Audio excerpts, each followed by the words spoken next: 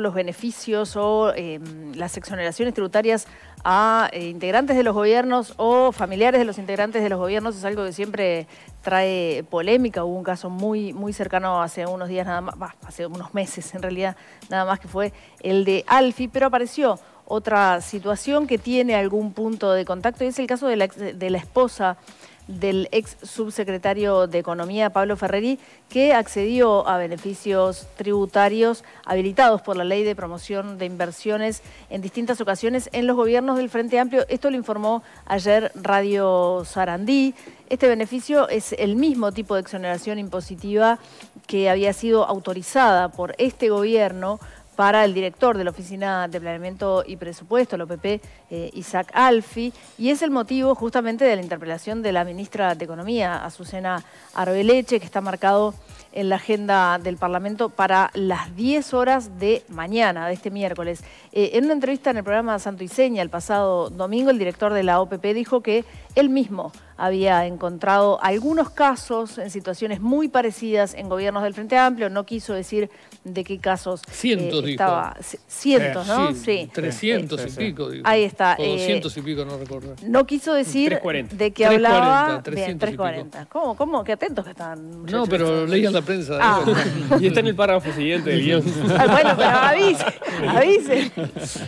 Eh, bueno, no, no, no, se le adelanten lo que tiene que decir Pablo. Le Perdón que spoileé le, le, están sacando, le están sacando contenido. Pero empezamos con, con el como, concurso. Como decían los compañeros aquí a mi lado, encontraron cerca de 340 eh, empresas similares a la suya. Bueno, según contó Alfi en esta entrevista en, en Santo y Seña, decía él, no son exactamente los mismos, pero pegan el palo. Familiares muy Mm. directos, muy cercanos, pegan todos en el palo. Decía Alfi, estaba haciendo referencia concretamente a esta situación y a otras que investigaremos. A ver Y aparte es la misma ley, ¿no? La ley de promoción de inversiones. Exacto. Sí, Alfi no, como decía Paula, no quiso dar el nombre de a quienes se refería eh, para preservar el Estado de Derecho en un procedimiento que él entiende que, que es legal. Sin embargo, Radio Sarandí informó ayer que una de las exoneraciones había sido para una empresa eh, propiedad de, de la familia de la, de la pareja de Pablo Ferreri. En Twitter, eh, Ferreri dijo que se trataba de situaciones muy diferentes, más allá de la opinión que puede tener sobre cada una. Dijo, yo no pedí, tenemos el, el tweet, ningún beneficio ni tenía ninguna empresa. Yo no consulto a, la familia de mi esposa sobre mi actividad política, ni ellos a mí sobre su actividad empresarial. Eh.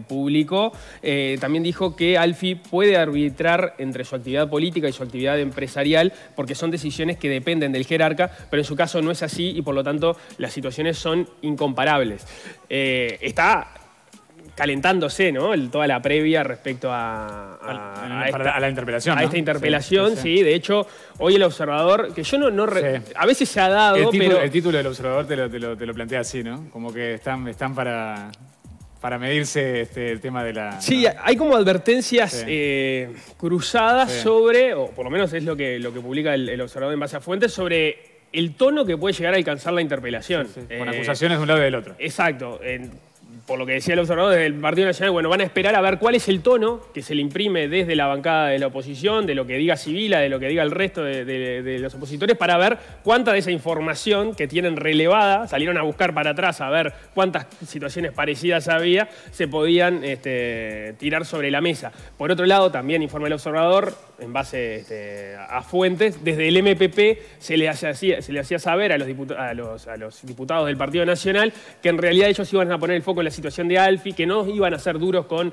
eh, Azucena Arbeleche, también como despegándose eh, decir, bueno, nosotros no vamos a jugar tan duro, ¿no? Eso es por lo menos lo que, lo que uno interpreta de la, de la nota de- del observador. O sea, habrá que ver qué, qué es lo que, lo que termina ocurriendo. Eh, va a ser una interpelación... Muy eh, linda, muy divertida. Sí, por lo menos hay expectativas. Yo eh, voy a salir de acá, me voy a ir a mi casa y me voy a enchufar al canal de presidencia de la interpretación eh, todo el tiempo Parlamento. que pueda. ¿Qué dije? presidencia. El Parlamento, por supuesto. Todos me entendieron, ¿verdad? Sí, sí, sí, sí, sí. Eh, sí. No, sí, sí, se anticipa que va a ser una, una inter- que puede llegar a ser una interpelación este, eh, dura, ¿no? En ese sentido, con acusaciones cruzadas, pero bueno, hay que ver también este, qué planteos realiza la oposición este, en, en el inicio mismo, ¿no? Sí, Si, si efectivamente, como, como se advierte, hay situaciones similares de, de- En gobierno también en gobiernos anteriores, lo mejor que puede ocurrir es que salgan con un consenso sobre la situación. No importa si es este, lapidario respecto a un desvío ético, que entienden, o respecto a que la normativa se cumplió y que son criterios objetivos los que se siguen para eso, pero que, que se llegue a una postura común Exacto. porque estamos hablando de situaciones, según se está anticipando, similares en varios casos. ¿no? Sí, porque por más que Ferreri diga que no tiene nada que ver, algo que ver tiene, digamos, que quizás que si hay un consenso, lo que se discuta sea el mecanismo, a ver si, si tenemos las mejores garantías y mecanismos para que se otorguen estas este, ex- exenciones crediticias eh, impositivas sin que este, se afecte la, la ética de la, de, de la clase política. Digamos. Sí, sí, Me parece que claro. por ese sería el, el lado positivo que podría tener Los este, mecanismos, esta- claro. las excepciones, cuáles son, los, impedimentos, o sea, que ¿Quién claro. tiene que decidir cuando hay alguien que, que tiene alguna relación con... Sí. con- Capaz claro, que es tan eh, simple como regularlo un poquito más y decir, bueno, hasta tal grado de consanguinidad. Sí, por o, o de vínculo, o de vínculo, claro. Se como puede, pasa, no como se pasa puede, con, listo. con- con la, con la- la- la ley de ética de, de la función pública, ¿no? Este, Claro.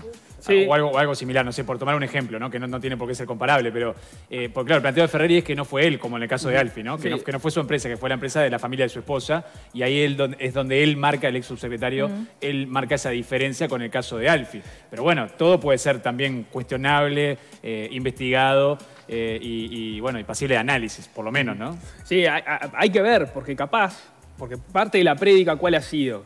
De que, de que en realidad hay criterios que ya están definidos. Que, y básicamente se otorgan un montón de exoneraciones que van en esa línea, que, que no depende de eh, tanto de, a- de- de a quién, sino cuáles son los criterios que se cumplen. Y si eso está establecido, capaz que no hay ningún problema. Que no es claro. Cap- capaz que se está- capaz que se está cumpliendo. Lo que sería importante es que se encuentre un consenso. Si, si llegamos a, si vamos mañana y, no, y vemos que en realidad este, hay eh, situaciones similares de- de los dos lados, bueno, Claro, busquemos entonces busquemos- el consenso claro, y- dejémonos de, de Para evitar dependiendo de a quién se lo otorgaron. Porque Claro. estamos viendo la exoneración impositiva como algo negativo, si Sí. se, ha- se ha transformado Claro. y quizás Sí, eh, sea algo positivo, digamos, en el sentido que por algo bueno, se dan, se dan para mover la economía. Claro, se incentiva la economía, se incentiva las inversiones. O sea, es que en realidad lo que, se- lo que se apunta es que no hay ninguna ilegalidad, ¿no? Este, por lo menos eso se apunta en el caso de Alfi por parte del oficialismo y en el caso de la oposición en, en- en- en esta situación ple- puntual, ¿no? Después hay otra discusión que también podemos dar y que no es la que está en este, en este momento en el, en el foco, que es en qué medida esas ex- exoneraciones tienen o no sentido. Importar mobiliario de afuera Sí, para renovar una oficina.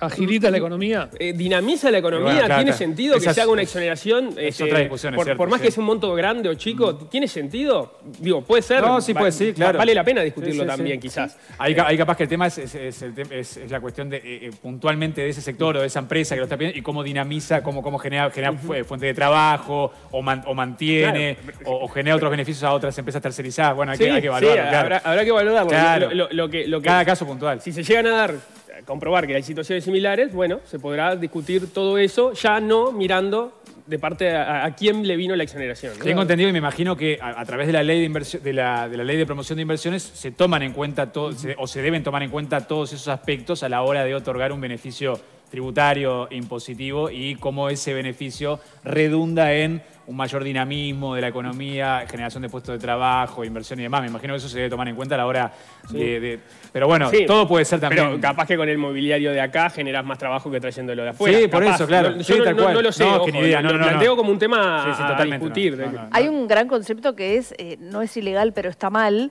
eh, bueno, que, claro. que en realidad es pero legal. eh, Bueno, sí, Y ahí, ahí es donde De entra lo ético, ¿no? Ahí es donde de lo alguna ético. manera, como el presidente y Alfi se pusieron de acuerdo en, en dar marcha atrás, En- quedó claro. eso, digamos. sí, claro. Sí. Que- quedó Porque eso. ¿por qué Alfi renuncia a ese beneficio? De- Y, de este, acuerdo con el que- presidente. Claro, de- exacto. Después de reunirse con el presidente y, y- y además después de que la, la- el- el gran, la gran crítica también es que renuncia después de que se hace público. Eh, Eso dice la oposición. Y bueno, este, por algo se llega también a ese acuerdo, como dice Leo, para, que, para, para, para no eh, quedarse con- o, o no obtener ese beneficio que se le había otorgado.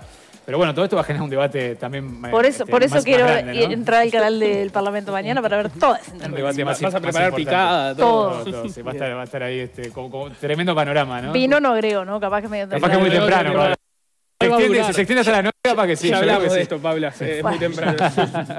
Bueno, seguimos, Leo. Sí, porque vamos a darles una